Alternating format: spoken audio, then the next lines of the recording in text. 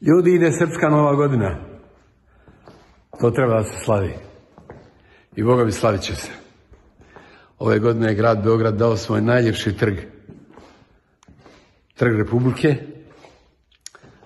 Da se tamo slavi. A naša nova godina se slavi